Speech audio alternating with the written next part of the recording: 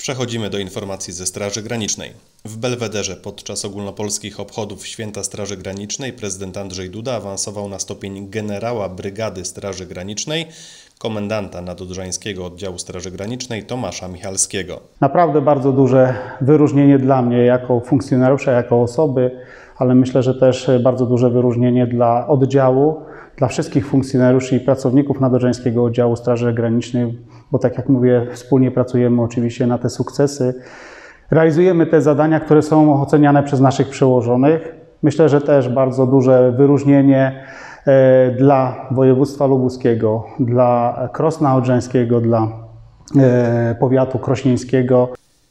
17 czerwca 2020 roku, wtedy jeszcze pułkownik Straży Granicznej Tomasz Michalski został formalnie komendantem nadodrzańskiego oddziału Straży Granicznej. Generał Tomasz Michalski od wielu już lat związany jest z oddziałem w Krośnie Odrzańskim. 24 lata służby, dokładnie 1 lipca 1997 roku przyjąłem się do służby, do lubuskiego oddziału Straży Granicznej. Moje początki były związane z Wydziałem Ochrony Granicy Państwowej, e, stanowiska wykonawcze, można powiedzieć pierwsza linia związana przede wszystkim ze zwalczaniem przestępczości, przestępczości tej granicznej.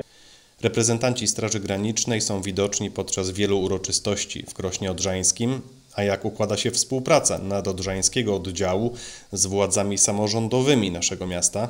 No ja powiem tak wzorowo. I tutaj chciałbym oczywiście tutaj podziękowania złożyć na ręce burmistrza e, miasta Krosna Odrzańskiego też i starosty e, krośnieńskiego. Za ich pośrednictwem oczywiście podziękowania dla wszystkich samorządów, które cały czas nas naprawdę wspierają.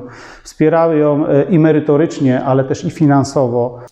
Cały czas trwa nabór do służby w szeregach Straży Granicznej. Jak zapewnia generał Brygady Straży Granicznej, to praca, w której każdy znajdzie coś dla siebie. Każdy oczywiście znajdzie dla siebie coś miłego. Jeżeli ktoś chce być przewodnikiem psa, to może zostać przewodnikiem psa. Jeżeli ktoś chce być ekspertem w dziedzinie fałszyzm dokumentów, zostanie ekspertem w dziedzinie fałszyzm dokumentów.